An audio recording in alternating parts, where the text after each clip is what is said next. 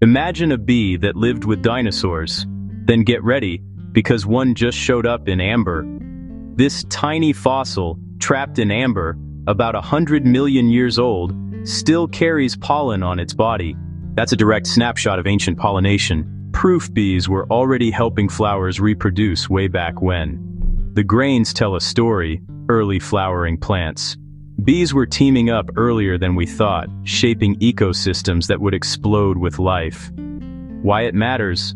Pollinators didn't just appear overnight. This fossil shows specialization and interaction that likely drove plant diversity. It also gives scientists clues about which plants existed and how early ecosystems worked. So next time you see a bee, remember? Those tiny workers have been shaping Earth's gardens for tens of millions of years. Ancient amber, modern science. One preserved buzz rewrites a chapter of natural history.